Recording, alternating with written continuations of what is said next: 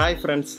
Welcome to health and wage അപ്പോൾ ഇന്നത്തെ health and വേജിന്റെ വീഡിയോയിലൂടെ ഞാൻ നിങ്ങളുമായി ഷെയർ ചെയ്യാൻ ഉദ്ദേശിക്കുന്ന പുതുതായ ഒരു പ്രാവിനെ വാങ്ങുമ്പോൾ എവിടെ നിന്ന് വാങ്ങണം? എന്തൊക്കെ കാര്യങ്ങൾ ശ്രദ്ധിക്കണം? പത്ത് കാര്യങ്ങൾ ഞാൻ പറയുന്നുണ്ട്. ഈ പത്ത് കാര്യങ്ങൾ നോക്കിയിട്ട് മാത്രമേ പ്രാവിനെ വാങ്ങാൻ പാടുള്ളൂ. വാങ്ങിയതിന് ശേഷം എന്തൊക്കെ കാര്യങ്ങൾ ചെയ്യണം?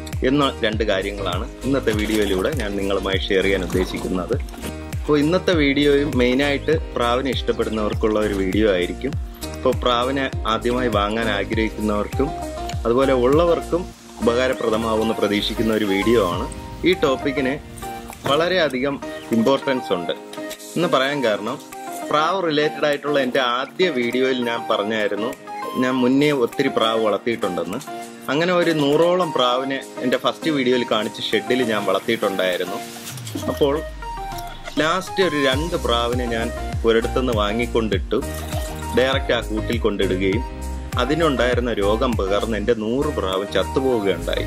അങ്ങനെയാണ് ഞാൻ പ്രാവ് വളർത്തൽ നിർത്തിയത്. ഇതുപോലത്തെ പണി നിങ്ങൾക്കും കിട്ടാതിരിക്കാൻ വേണ്ടിയിട്ടാണ് ഞാൻ ഈ വീഡിയോ ആയി നിങ്ങളുടെ മുന്നിൽ എത്തിയിരിക്കുന്നത്.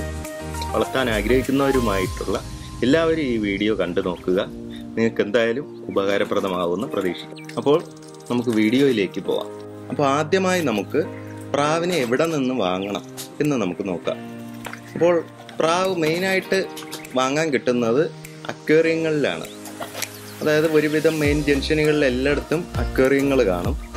അങ്ങനെ അക്വേറിയങ്ങളിൽ നിന്നും വാങ്ങാൻ കിട്ടും. അതുപോലെ പ്രാവ് വളർത്തുന്ന ആൾക്കാരുടെ വീടുകളിൽ നിന്നും വാങ്ങാം.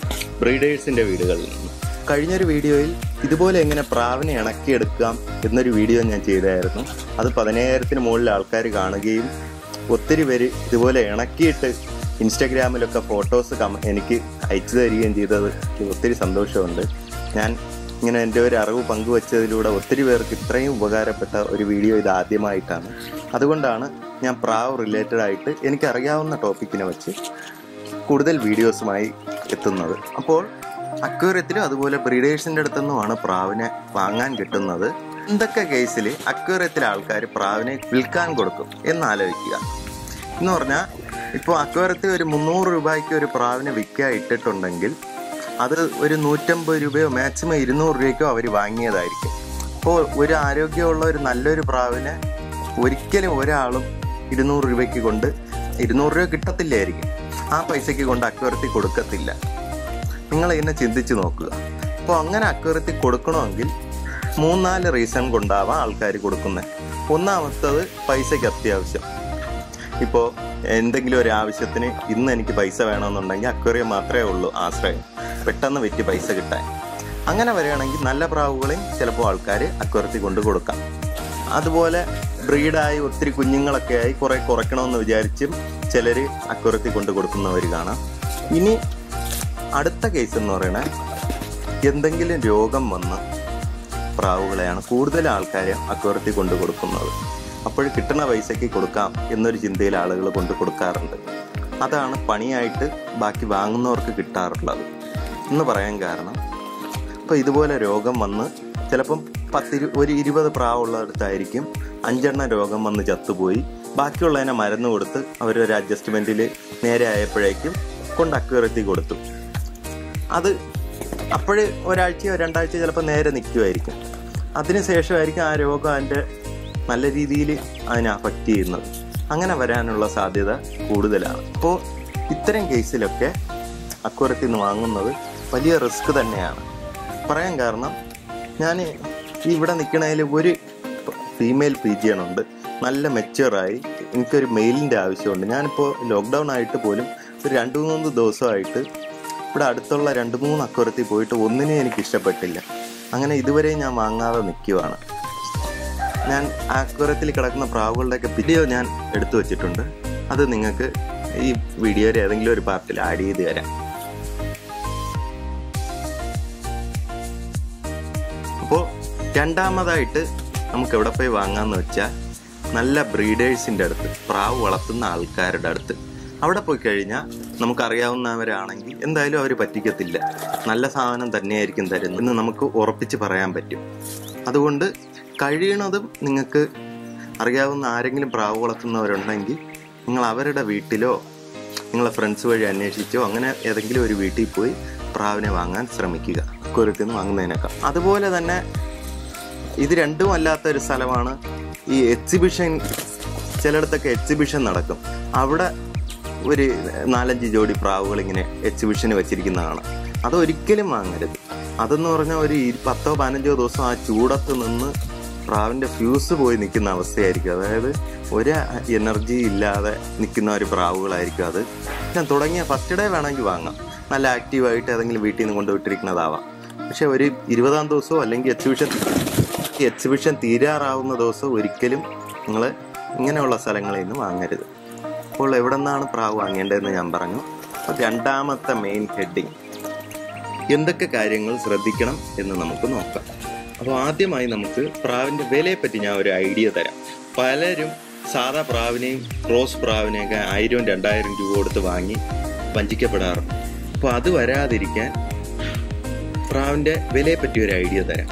അപ്പോൾ നാടൻ പ്രാവ്. ഞാൻ ആദ്യത്തെ വീഡിയോയിലെ കാണിച്ചായിരുന്നു ഒരു നാടൻ പ്രാവിനെ. ഇടയിൽ തൊപ്പിയൊന്നും ഇല്ലാത്ത ഒരു നാടൻ പ്രാവിന് പേറിന് ഒരു മുന്നൂറ്റമ്പത് രൂപ മുതൽ അഞ്ഞൂറ് രൂപ വരെയൊക്കെയാണ് വില വരുന്നത്.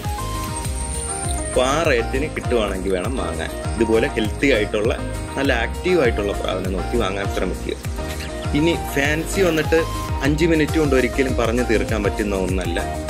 നിങ്ങൾ വാങ്ങാൻ പോകും മുമ്പേ ആ ഇനത്തെ പറ്റി ഒരു ഐഡിയ ഉണ്ടാക്കി അറിയാവുന്ന ആരെങ്കിലും ഉണ്ടെങ്കിൽ വിളിച്ച് ചോദിച്ചിട്ട് പോകണമായിരിക്കും നല്ലത്.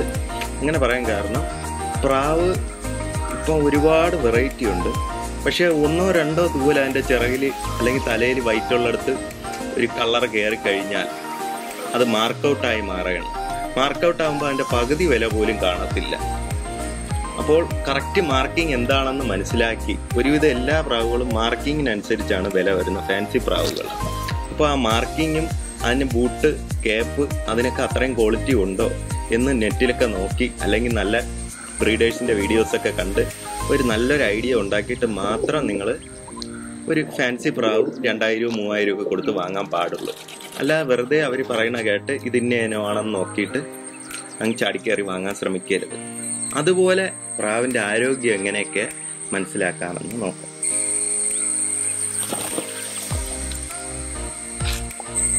പ്രാവിനെ വാങ്ങുമ്പോൾ ശ്രദ്ധിക്കേണ്ട കാര്യം. ഇതാ ഒരു പ്രാവിനെ പിടിച്ചു. ആദ്യം കയ്യിലെടുത്ത് നോക്കുക. വെയിറ്റ് ആവശ്യത്തിന് വെയിറ്റ് ഉണ്ടോ എന്ന് ഒരു മുന്നൂറ് തൊട്ട് അഞ്ഞൂറ് ഗ്രാം വരെ ആയിരിക്കും ആവറേജ് ഒരു പ്രാവിന്റെ വെയിറ്റ്. ചില ഫാൻസി പ്രാവിനൊക്കെ അതിൽ വെയിറ്റ് കൂടുതലുള്ളതുകൊണ്ട് ചില ഐറ്റംസ് കുറഞ്ഞതുകൊണ്ട് എന്നാലും ആ പ്രാവിന്റെ ശരീരത്തിനൊത്ത വെയിറ്റ് ഉണ്ടോ എന്ന് വേണം ആദ്യമായി ചെക്ക് ചെയ്യാൻ. ഇത് ഇതുകൊണ്ട് അനങ്ങ മിണ്ടാതിരിക്കുന്നേ ഇല്ല. അത് അത്രയും ആരോഗ്യമുള്ള ഒരു പ്രാവായതുകൊണ്ടാണ് ഞാൻ ഇത്രയും ഇറുക്കി പിടിച്ചിട്ടും അത് ചാടാൻ ശ്രമിക്കുന്നത്. ചിലത് ഒരു അനക്കോ ഇല്ലാതിരിക്കുന്ന ചിലത് കാണും. അപ്പോൾ ആരോഗ്യമുണ്ടോ എന്ന് ചെക്ക് ചെയ്യുക. രണ്ടാമത് ചെക്ക് ചെയ്യേണ്ടത് പ്രാവിനെ പിടിക്കുന്നത് ഇങ്ങനെയാണ് കേട്ടോ. എങ്ങനെയാ പിടിക്കുന്നതെന്നൊക്കെ ഞാൻ മുന്നേ ഒരു വീഡിയോ ചെയ്തിട്ടുണ്ടായിരുന്നു. രണ്ടാമത് ചെക്ക് ചെയ്യേണ്ടത് ഇതാ ചുണ്ട് ഇതിന് ഏതെങ്കിലും ചുണ്ടിനൊക്കെ നീളം കൂടുതലുണ്ടോ? കാൽ രണ്ടും കറക്റ്റ് നീളമാണോ? എന്തെങ്കിലും ചരിവോ മുണ്ടലോ ഉണ്ടോ? ചിറകിന് എന്തെങ്കിലും ഡാമേജ് ഉണ്ടോ? ഫുൾ ചിറക് ചെക്ക് ചെയ്യുക. കട്ട് ചെയ്തിട്ടുള്ള പ്രശ്നമില്ല. ഒരു മാസം കഴിയുമ്പോൾ പൊടിച്ചു വരുന്നതാണ്. അല്ലാതെ എന്തെങ്കിലും ഫിസിക്കൽ ഡാമേജ് ഉണ്ടോ എന്നൊക്കെ ചെക്ക് ചെയ്യുക. അപ്പോൾ ചുണ്ടൊക്കെ മെയിനായിട്ട് നോക്കണം. ചിലതിന്റെ ഒരു ചുണ്ട് ഇങ്ങനെ നീളത്തിനിരിക്കും. അങ്ങനെയുള്ളത് അവസാനം കുഞ്ഞുങ്ങൾക്ക് തീറ്റി കൊടുക്കാൻ പറ്റുന്നില്ല. ഏത് ബേഡ് വാങ്ങുമ്പോഴായാലും അങ്ങനെ ആഫ്രിക്കൻ ലവ് ബേഡിനൊക്കെ ഈ പ്രശ്നമുള്ളതാണ്. കണ്ണ് രണ്ടും നോക്കുക. കണ്ണിന് എന്തെങ്കിലും പ്രശ്നമുണ്ടോ എന്നൊക്കെ. അപ്പോൾ രണ്ട് കാര്യമായി. മൂന്നാമതായിട്ട് ചെക്ക് ചെയ്യേണ്ട നമുക്ക് ഓരോ രോഗം ഉണ്ടോ എന്ന് ചെക്ക് ചെയ്യാം. ഒന്നാമത് ഇതിന്റെ കണ്ണ് രണ്ട് നോക്കുക.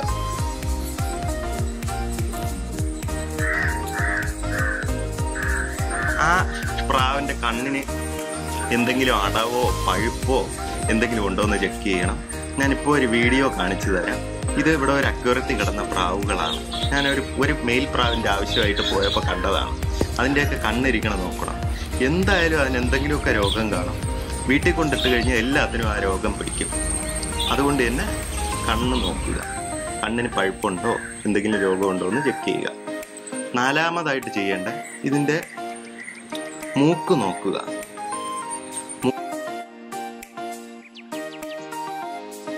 മൂക്കിൽ എന്തെങ്കിലും ഡാമേജ് ഉണ്ടോ?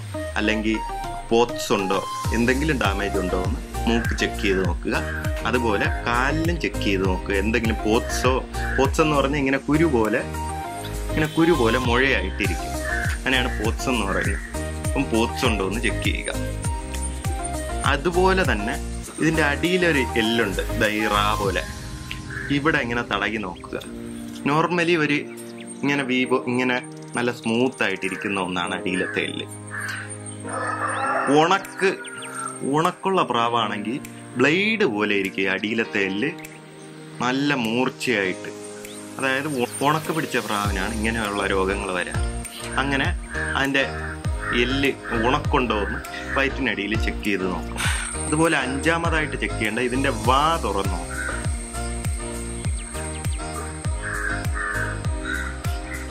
വാ തുറന്ന് വായ്പുണ്ണോ വായ്ക്കകത്ത് എന്തെങ്കിലും രോഗമോ ഉണ്ടോ എന്ന് ചെക്ക് ചെയ്യുക. അതുപോലെ ഇതിന്റെ ഈ വ- ചിറകിനിടയ്ക്കും ഇടയ്ക്കൊക്കെ ചിറകിനിടയ്ക്കൊക്കെ ഊതി നോക്കിക്കഴിഞ്ഞാൽ പേൻ ശല്യമോ എന്തെങ്കിലും ഡാമേജ് ഉണ്ടോ എന്നറിയാം. പേൻ ശല്യമൊക്കെ നമുക്ക് മാറ്റാവുന്നതേ ഉള്ളൂ.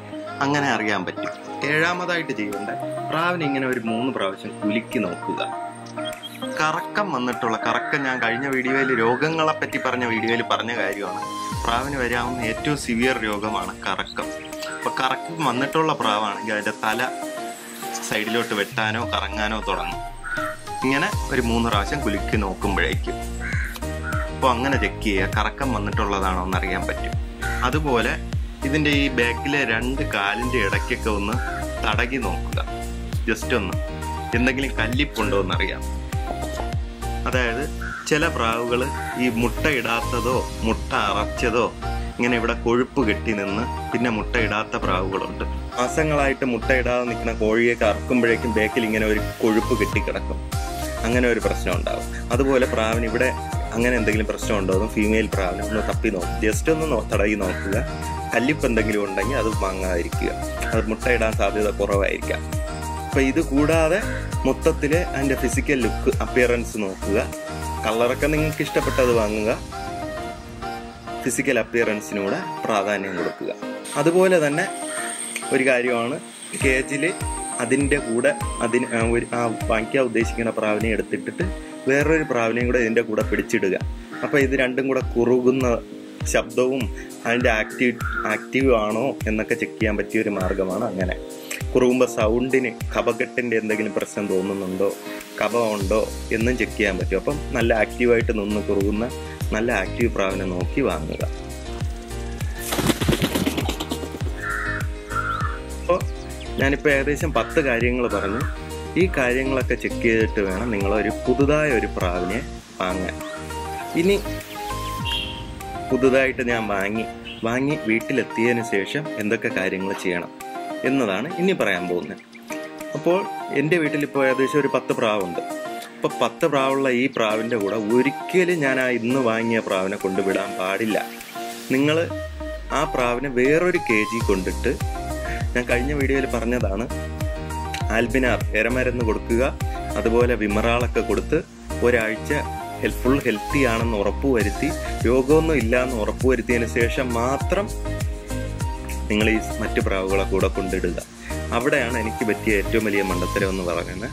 ഞാൻ പണ്ട് പ്രാവ് വളർത്തിയപ്പോൾ ഞാൻ പറഞ്ഞായിരുന്നു നൂറിന് മുകളിൽ പ്രാവ് ഉണ്ടായിരുന്നു അങ്ങനെ ഒരു ഷെഡ് ഒരു ഇരുപത്തയ്യായിരം രൂപയുടെ ഷെഡ് ഉണ്ടാക്കി ഒത്തിരി ഫാൻസി പ്രാവ് ഞാൻ വളർത്തിയിരുന്നു. ഫാൻ പൗഡർ ഫാന്റയിൽ മുഗി എല്ലാ കളറും സിറോസ് എല്ലാ കളറും അങ്ങനെ ഒത്തിരി പ്രാവ് വളർത്തിയിരുന്നതാണ്.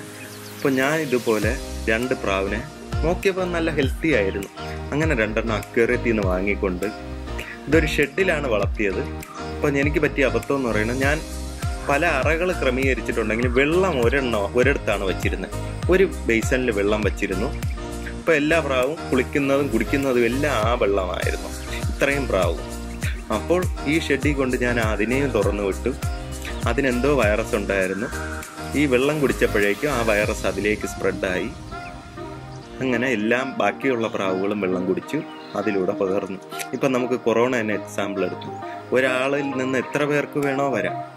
വൈറസ് അതും ഒരു വൈറസാണ് അതുപോലെ പ്രാവിനും പല രോഗങ്ങളും ഉണ്ട്. അത് ഒരുവിധം എല്ലാ രോഗവും പകർച്ച വെള്ളത്തിൽ കൂടെയും കേജിലൂടെയൊക്കെയാണ് ഫാനിലൂടെയൊക്കെ അപ്പോൾ അങ്ങനെ ആണ് എനിക്ക് മണ്ടത്തരം പറ്റി. ഞാൻ കൊണ്ടുവിട്ടു.